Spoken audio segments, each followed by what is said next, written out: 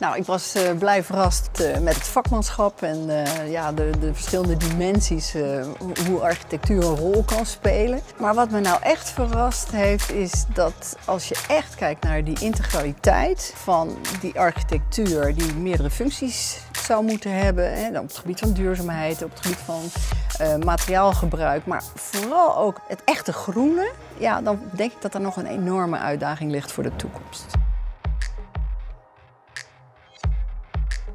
De meeste gebouwen die zijn energie-neutraal en we hebben er zelfs een paar gezien die energieleverend zijn. Wat voor mij veel interessanter is, is gewoon het thema van duurzaamheid. Dus in hoeverre is een gebouw ook duurzaam?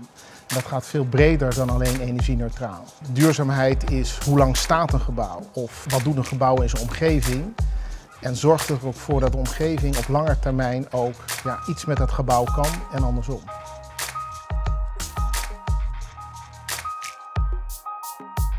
In 2007 waren er zeer gedreven opdrachtgevers en ik heb ontdekt dat die er nu nog zijn. Dus in dat opzicht geen verschil. Het belangrijkste is ook dat ik gemerkt heb dat er heel veel professionele opdrachtgevers zijn.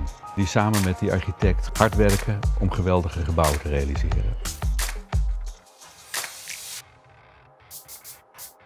Ik denk dat de architecten, ontwikkelaars en bouwers onbewust onbekwaam zijn op het thema gebouwd geluk. Daarmee bedoel ik te zeggen is dat we heel veel gebouwd geluk hebben gezien.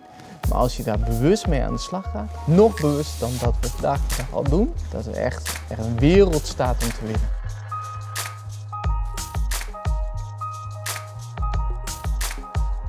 Nou, ik ben eigenlijk positief verrast door de architecten die in de inzendingen heel veel aandacht hebben gehad voor de mens en de gebruiker in hun gebouw. Tegelijkertijd ben ik ook wel op zoek geweest naar projecten die natuurlijk enerzijds dat dienend waren aan de mensen en de gebruikers en de functionaliteit van het gebouw, maar anderzijds ook in staat waren om een iconische waarde aan hun gebouw toe te voegen.